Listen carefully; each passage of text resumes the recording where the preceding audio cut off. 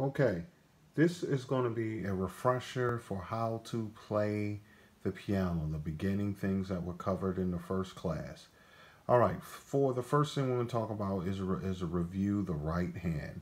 All right, remember, just like in the Alfred book, page number nine, remember that the right hand, you have your, you we give a finger assigned to every key. It's also given a number. The thumb number one, two, three, ring finger is four, pinky is five. And with the left hand, it's the same concept except it is reverse.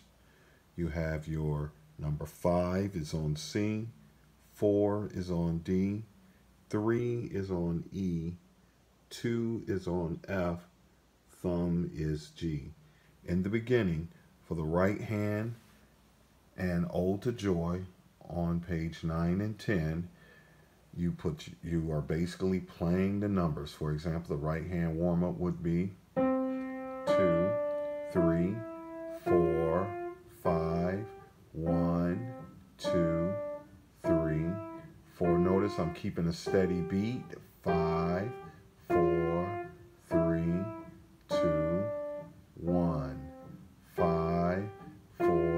You can even think in terms of the letters C, D, E, F, G, G, F, E, D, C. And that is a review of the hands.